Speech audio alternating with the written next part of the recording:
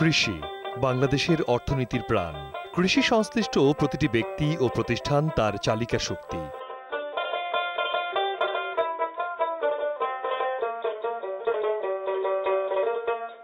বাংলাদেশের প্রায় বাষট্টি শতাংশ কর্মসংস্থানের ব্যবস্থা রয়েছে কৃষি সম্পর্কিত বিভিন্ন সেক্টরে।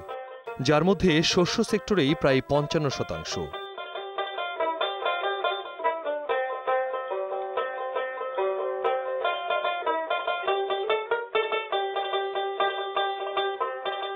কৃষি প্রযুক্তি, কৃষি সেক্টরের উন্নয়নের ক্ষেত্রে একটি গুরুত্বপূর্ণ অংশ।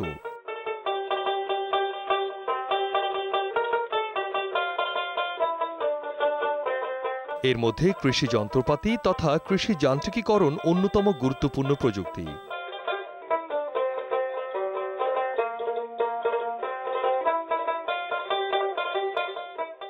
দেশের জনসংখ্যার ক্রমবিকাশের সাথে সাথে কৃষি সেক্টরের উপর যেমন চাপ বাড়ছে, তেমনি তার সঙ্গে পাল্লা দিয়ে বাড়ছে খাদ্যশস্য উৎপাদন, সেই সঙ্গে বাড়ছে কৃষি সেক্টরের গুরুত্ব।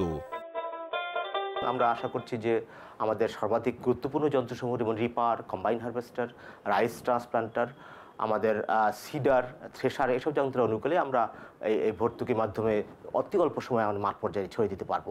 এর পাশাপাশি আমাদের সরকার এই এই খামার যান্ত্রিকরণ প্রকল্পের মাধ্যমে আমরা বিভিন্ন আধুনিক যন্ত্রপাতি কৃষকদের জনপ্রিয় করবার লক্ষ্যে তাদের মাঝে আমরা এর কার্যকারিতা কার্যকারিতা নিয়ে কাজ করছি, মাঠে অপারেশন দেখার প্রদর্শন করছি। পাশাপাশিভাবে আমরা যারা মাঠে এটি কাজ করবেন সেই অপারেটর এবং সেই যারা চালক, অর্থাৎ মেকানিক, তাদেরকে আমরা দীর্ঘমেয়াদী আবাসিক আবাসিক প্রশিক্ষণ দিয়ে আসছি। আমরা আরও কিছু কার্যক্রম, যেমন আমরা কৃষি যন্ত্রপাতি মাঠ পর্যায়ে চলমান রাখতে হলে আপনার এই ক্ষুদ্র ক্ষুদ্র জমিতে চাষাবাদটা একটি অবস্টাকল বিশেষ করে যেমন একই এলাকায় দশ থেকে বিশ একর জমিতে যদি মাঝখানে ধান বিয়ার আটাশ করে বা দূরে আবার উনত্রিশ করে, তাহলে একসাথে পাকে না। তাহলে হয় কি, একটি মেশিন জমি মাঝখানে জমি পেকে, ধান পেকে আছে, সেখানে যাবার জন্য যে তার যে জায়গাটি দরকার সেটি হয় না। এই জন্য মেশিন ফ্রেন্ডলি যে জায়গা, মেশিন ফ্রেন্ডলি যে একটি ক্ষেত্র বা জমির ক্ষেত্রটি, সেটি করবার জন্য অন্তত নির্দিষ্ট কিছু জায়গায় একই জাতের ফসল হওয়াটা বাঞ্ছনীয়। এটিকে মাথায় রেখে আমরা দশ একরের বিভিন্ন প্রদর্শনী করছি, যেখানে সমজাতীয় চাষাবাদ হচ্ছে। এখানে ফুল মেকানাইজড আমরা করে ফেলছি, একদম সিট টু সিট এবং এর মাধ্যমে দেখাচ্ছে কৃষকদেরকে যে একটি জায়গা থেকে ক্রপিং ইন্টেন্সিটি কত অল্প সময়ে তিনটি জায়গায় চারটি দুটি জায়গায় যেখানে ছিল, সেখানে তিনটি ফসল করা সম্ভব। এই প্র্যাকটিসগুলো মাঠে দেখাচ্ছি।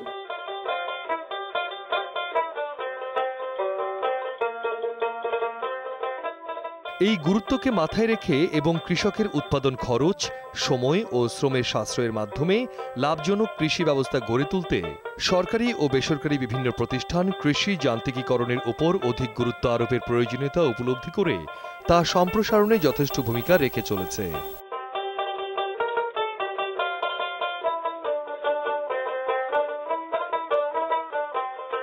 আমরা জানি কৃষিতে যন্ত্রের ব্যবহার একদিকে যেমন খরচ কমায় সময় সাশ্রয় হয়, যিনি এর পিছনে শ্রম দেন, তার জন্যে সহজে শ্রম দেওয়াটাই সহজলভ্য হয়। এবং সময় কমানোর ফলে একটি ফসল শেষ করার পরে যখন আরেকটি ফসল আমরা করি, এটি সহজেই আরেকটা ফসল করা সম্ভব হয়ে ওঠে। এই ক্ষেত্রে আমরা জানি যে আজকে বিশেষ করে যেটা আমি বললাম যে ধান রোপণ এবং ধান কাটার ক্ষেত্রে, এখানে এসিআই মোটরস তারা কাজ করছেন এবং বাইরে থেকে যে সমস্ত যন্ত্রপাতি তারা এই বিষয়ক যন্ত্রপাতি বাংলাদেশে আমদানি করেছেন। এটি মাঠ পর্যায়ে ব্যবহার হচ্ছে।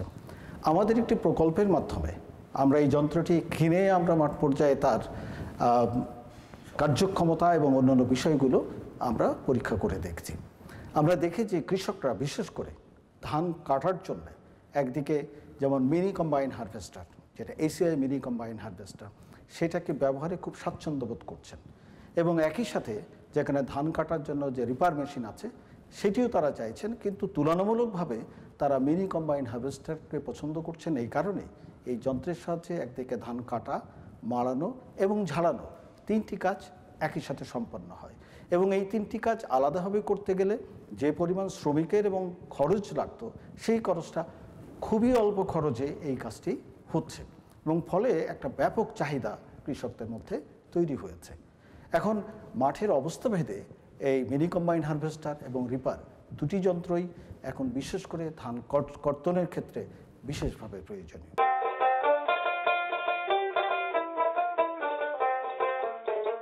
ধান, বাংলাদেশের প্রধান খাদ্যশস্য।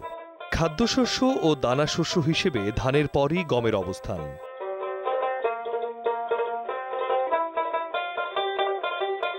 গম বিশ্বব্যাপী উৎপাদিত একটি ঘাস জাতীয় উদ্ভিদ যার আদি উৎপত্তি মধ্যপ্রাচ্যের লেভান্ট অঞ্চলে, কিন্তু এখন সারা বিশ্বে গম চাষ করা হয়।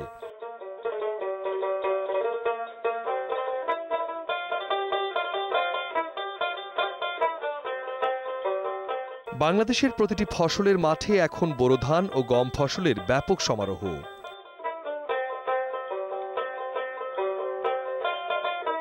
অন্যান্য অঞ্চলের মতো বর্তমানে ঠাকুরগাঁও জেলার ফসলের মাঠে ধান, গম, আলু, ভুট্টা, মরিচ ইত্যাদি ফসলের ব্যাপক উপস্থিতি রয়েছে।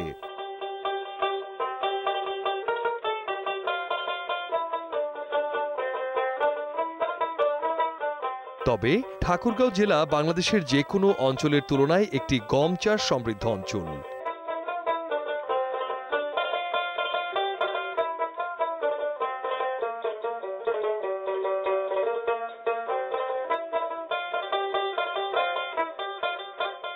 ঠাকুরগাঁও জেলায় ধান ও গম কাটার আধুনিক প্রযুক্তি তথা রিপার ও হারভেস্টার ব্যবহারের উপর গুরুত্ব দিয়ে বেশ কিছু প্রতিষ্ঠান কৃষকের মাঝে কাজ করে যাচ্ছে।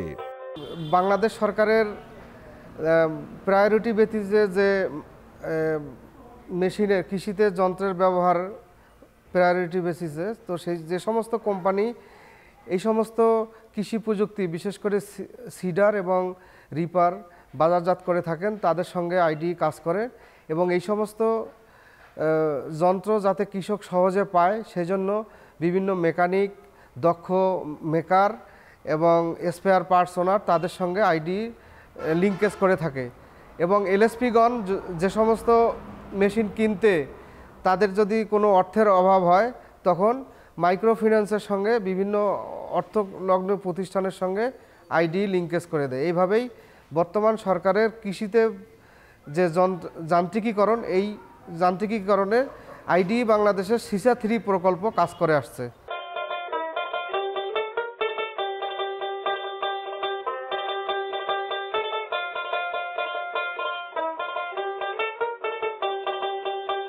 এটি ঠাকুরগাঁও পঞ্চগড় রোডে অবস্থিত টেকনিক্যাল ট্রেনিং সেন্টার।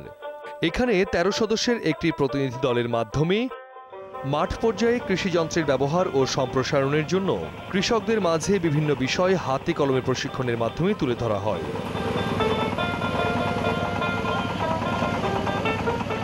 চলুন, কৃষকদের জন্য তারা কী ধরনের সেবা কার্যক্রম পরিচালিত করছেন সে বিষয়ে জেনে আসি। আজকে আমরা সবাই এখানে একত্রিত হয়েছি। সামনে আমাদের গমের মৌসুম। আমাদের কৃষি যান্ত্রিকরণের অংশ হিসেবে আমাদের গভর্নমেন্ট সাবসিডারি প্রোভাইড করতেছে সরকার। আমরা এর জন্য নন গভর্নমেন্ট অর্গানাইজেশন এসিআই মোটরসের পক্ষ থেকে আমরা কৃষি যান্ত্রিকরণের কিছু প্রোডাক্ট যেমন রিপার মিনি কম্বাইন হারভেস্টার এগুলো আমরা প্রোভাইড করতেছি। আপনাদের সবাই, সবার উদ্দেশ্যে এটা বলতে চাই, আমাদের এই প্রোডাক্টটা এখন দেখেন মাঠে যাবেন কৃষক নাই। মাঠে যাবেন ফার্মার পাবেন না। সবাই হচ্ছে কাজ করতে গেছে গার্মেন্টসে কাজ করতে গেছে, কৃষক খুঁজে পাওয়া যাচ্ছে না, কাজ করে মজা পাচ্ছেন না, কাউকে খুঁজে পাওয়া যাচ্ছে না। এই সমস্যা সমাধানের জন্য সরকার এটাকে গভর্নমেন্ট সাবসিডিতে নিয়ে আসছে। সব, সকল প্রোডাক্টের এক বছরের ফ্রি সার্ভিস পাবেন। সকল পার্টস আমাদের কাছে অ্যাভেলেবল আমাদের সার্ভিসম্যান আছে, আপনাদেরকে ট্রেনিং দেওয়ার ব্যবস্থা করা হবে প্রোডাক্টটা আপনারা যখন আমাদের কাছ থেকে ক্রয় করবেন, এটা আপনাদের বাসা পর্যন্ত আমরা পৌঁছে দেবো।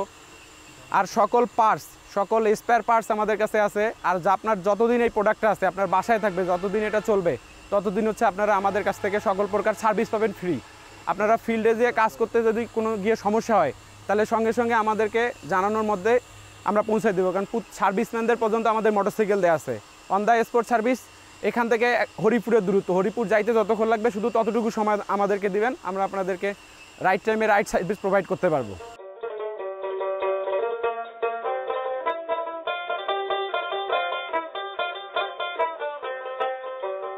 এটি ভুল্লি বাজার বাসস্ট্যান্ড বটতলা, ঠাকুরগাঁও অঞ্চলের একটি স্থানীয় হাট। সম্প্রতি এখানে ভিডিও প্রদর্শনীর মাধ্যমে স্থানীয় কৃষকদের ধান ও গম কাটার আধুনিক যন্ত্রের ব্যবহার সম্পর্কে সচেতনতা প্রদান করা হয়।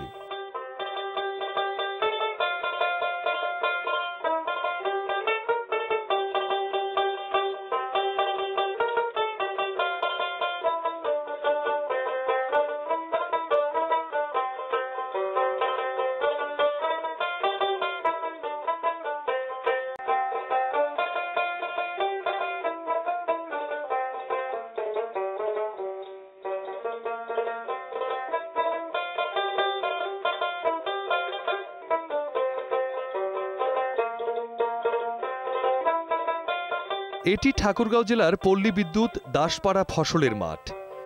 ঠাকুরগাঁও জেলার অন্যান্য ফসলের মাঠের মতো এখানেও ব্যাপকভাবে ধান ও গম ফসলের চাষ করা হয়।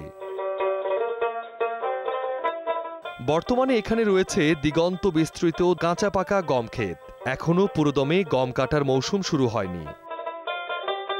আর মাত্র দুই সপ্তাহ পর গম কাটার কাজ পরিপূর্ণভাবে শুরু হবে বলে জানা যায়। চলুন, অনুষ্ঠানের এ অংশে ঠাকুরগাঁও কৃষি সম্প্রসারণ অফিসার প্রণয় বিশন দাসের কাছ থেকে এ বিষয়ে কিছু জেনে আসি। গম লাগানোর যে উপযুক্ত সময়, সেটা হচ্ছে পনেরোই নভেম্বর থেকে তিরিশে নভেম্বর। তো অনেক সময় দেখা যায় যে মাঠে আমন ধান কাটার পর হচ্ছে দেরি হয়ে যায়, ফলে কৃষকরা সঠিক সময় গম লাগাতে পারে না। বিজ্ঞানীরা গবেষণা করে দেখেছেন যে, তিরিশে নভেম্বরের পর যদি একদিন পরে গম লাগানো হয়, তাহলে শতকে পাঁচ থেকে ছয় কেজি গম কম হয়। তো আমরা কৃষকদের বলি যে যথাসময়ে গমটা লাগানোর জন্য, অর্থাৎ তিরিশে নভেম্বরের মধ্যেই। আর যেটা বিষয় যে গমের কিছু রোগ বালাই আছে, যে রোগের কথা বললাম ব্লাস্ট এটা গমের এখন একটি অতি ভয়াবহ রোগ। আমরা জানি যে দক্ষিণাঞ্চলের, গত বছরে দক্ষিণাঞ্চলে প্রায় ষাটটা জেলায় এই রোগের প্রকোপ দেখা দিয়েছিল। আমাদের উত্তরবঙ্গে এখন পর্যন্ত ব্লাস্ট রোগের লক্ষণ আমরা দেখতে পাচ্ছি না। সেজন্য আমরা কৃষকদের যথাসময়ে ব্লাস্ট রোগের জন্য যে সবচেয়ে ভালো ওষুধ সেটা হচ্ছে নাটিভো বা টুপার দুই মিলিলিটার এক লিটার পানিতে মিশিয়ে স্প্রে করতে বলতেছি। চাষিদের উদ্দেশ্যে আমাদের বক্তব্য আপনারা যদি গম চাষ করতে যদি কোনো সমস্যা অনুভব করেন তাহলে আমাদের উপ সরকারি কৃষি কর্মকর্তাদের সঙ্গে যোগাযোগ করবেন এবং তারপরে আমাদের উপজেলা কৃষি অফিসে আহ, আপনারা আসবেন আপনাদের পরামর্শ এবং সেবা দিতে আমরা বাধ্য। ঠাকুরগাঁও দাসপাড়া ফসলের মাঠে কয়েকজন কৃষক আগাম চাষ করা একটি পাকা গম ক্ষেত থেকে গম কাটতে ব্যস্ত সময় পার করছেন। চলুন তাদের কাছ থেকে এ বিষয়ে কিছু জেনে আসি। রোপা কামাই ধান কাটি গম কাটি আর দেড়শো টাকা করে হাজিরা পাই আর এই নাস্তা পাই আর কি। দুশো টাকা নিব গম কাটলে দুশো টাকা নিব আর যেটা নর্মাল কাম ওটা হচ্ছে নর্মাল দাম নিব ওটা দেড়শো করে দেয়, আর কি গম যদি কাটি, তাহলে দুইশো, আড়াইশো টাকা করে নিব। এটা কোনো কষ্ট আছে তো? হাত দিয়ে কাটলে, মারলে বেশি খরচা হয়। মানে কাটানি লাগবে আপনার পনেরোশো দুই হাজার টাকা বিঘা। মারানি লাগবে আবার এক হাজার। আর মেশিন দিয়ে মারবেন, মেশিন দিয়ে মারলে ওইখানে আবার সাত, আটশো টাকা দিতে হবে বিঘা। তাহলে তো ডবল খরচা পড়ে গেল। আর যখন মেশিন দিয়ে কাটবো, তখন তো অবশ্যই মানে অর্ধেকটা ছাড় হবে। মানে অর্ধেক টাকা দিয়েই গম, কাটা, মারা সব কিছু ক্লিয়ার হয়ে যাবে।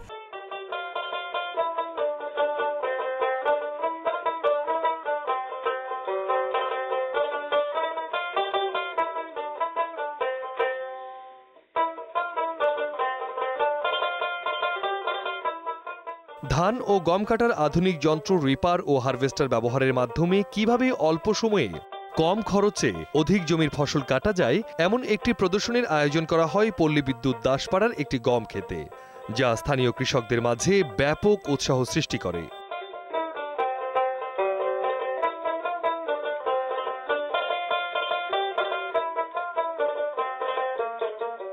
চলুন এতক্ষণের প্রদর্শনী শেষে ধান ও গম কাটার আধুনিক যন্ত্র রিপার ও কম্বাইন হারভেস্টার সম্পর্কে স্থানীয় কৃষকদের মতামত জেনে আসি।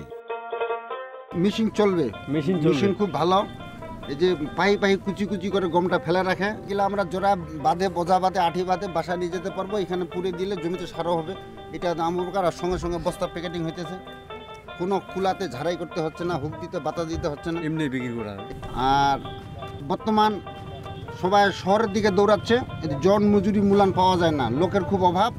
এখন এই মেশিন হলে আমরা মানে খুবই উপকৃত হব। ইএসডিও অর্থাৎ ইকো সোশ্যাল ডেভেলপমেন্ট অর্গানাইজেশন উনিশশো সালের তেসরা এপ্রিল প্রতিষ্ঠা লাভ করে। এটি ঠাকুরগাঁও অঞ্চলের একটি সামাজিক উন্নয়ন প্রতিষ্ঠান। প্রতিষ্ঠান লগ্ন থেকে কৃষকদের ক্ষুদ্র ঋণ প্রদান কার্যক্রম পরিচালনার মাধ্যমে গুরুত্বপূর্ণ ভূমিকা ও অবদান রেখে আসছে। সাধারণ মানুষের জীবনমান উন্নয়নের জন্য ইউএসডি এই এলাকায় ব্যাপক কার্যক্রম হাতে নিয়েছে। তার ভিতরে একটি উল্লেখযোগ্য বিষয় হলো এগ্রিকালচার বিশেষ করে ইউএসডি এগ্রিকালচার অ্যান্ড লাইভ স্টকের উপর বেশি প্রায়োরিটি দিয়ে থাকে। তো সেই ক্ষেত্রে এগ্রিকালচারের ক্ষেত্রে যেমন গম চাষ ভুট্টা চাষ, ধান চাষ ইত্যাদি বিষয়ে কাজ করে আসছে। যদিও ইউএসডিও সবসময় চায় কৃষকদের জীবনমান উন্নয়নের জন্য। তারা যত খুব সহজে লাভবান হয়। কিন্তু এই এলাকার পরিপ্রেক্ষিতে বর্তমান যে বিষয়টি লক্ষণীয়, সেটি হচ্ছে যে মজুরির বড় অভাব, অর্থাৎ কৃষি শ্রমিকের বড় অভাব। কৃষি শ্রমিক না থাকায় আসলে কৃষকরা তারা মাঠ পর্যায়ে সঠিক ন্যায্য মজুরি থেকে বঞ্চিত হচ্ছে। যে কারণে ইউএসডিও ভেরি রিসেন্টলি আইডিয়ার সাথে একটি চুক্তি করেছে। এই আইডিয়ার মাধ্যমে এই এলাকায় ইএসডিও মূলত রিপার এবং সিডারের উপর কাজ করবে। তো সেই ক্ষেত্রে ইএসডিওর কর্ম এলাকায় যদি অর্থনৈতিকভাবে অর্থনৈতিক সমস্যার কারণে কোনো সদস্য এই রিপার ক্রয় করতে না পারে, তাহলে ইউএসডিও এই এলাকায় এই অর্থনৈতিক সাপোর্টটা, অর্থাৎ ঋণ কার্যক্রমের মধ্য দিয়ে এই রিপার ক্রয়ের ক্ষেত্রে সার্বিক সহযোগিতা প্রদান করবে।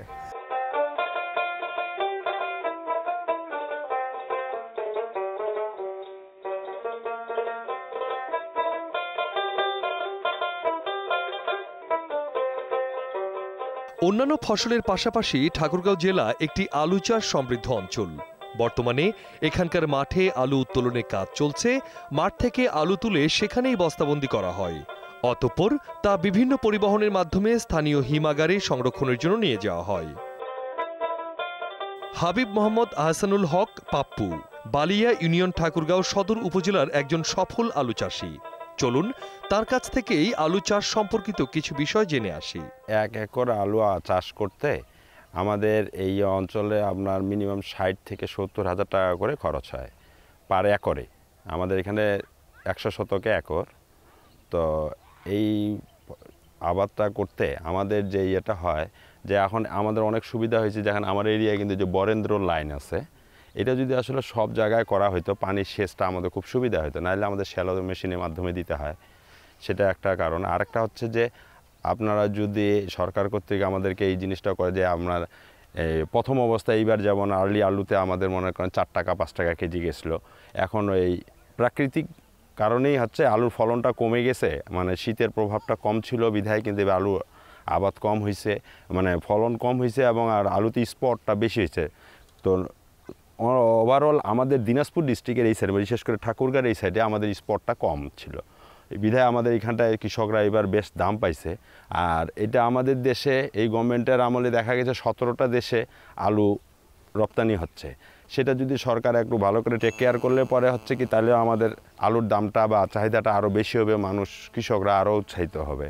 কিন্তু দেখা যায় যে কিছু কিছু ক্ষেত্রে আমাদের আলু বাইরে পাঠানোর ক্ষেত্রে দেখা যায় যে আমাদের যে সিলেকশন করতে মানে আমার, আমাকে আলুটা পাঠানোর জন্য পাঠাচ্ছি আমি, সেটা স্কেপ আলুটা পাঠাই দিচ্ছে, সেতে আমাদের দেশের ভাবমূর্তিটা নষ্ট হয়ে যাচ্ছে। সেটা সরকার একটু ভালো করে মোটিফিকেশন করলে হয়তো বা আরও ভালো হবে, আবার উৎসাহিত হবে। এবং এখন পর্যন্ত আমাদের সারটার বীজ যেটা আছে, খুব সুন্দরভাবে আছে, দামটা আছে, আর আলুর দামটা যদি ভালো পায়, কৃষকরা অনেক ভালো থাকবে, অনেক ভালোভাবে আমাদের এটা ভালো হবে। ফসল উৎপাদন থেকে শুরু করে কৃষকের প্রতিটি কাজে যন্ত্র ও প্রযুক্তির ব্যবহার দিন দিন আরও বৃদ্ধি পাবে। উৎপাদন খরচ কমিয়ে দেশে একটি লাভজনক, আধুনিক ও টেকসই কৃষি ব্যবস্থা গড়ে উঠবে। এটি আমাদের প্রত্যাশা।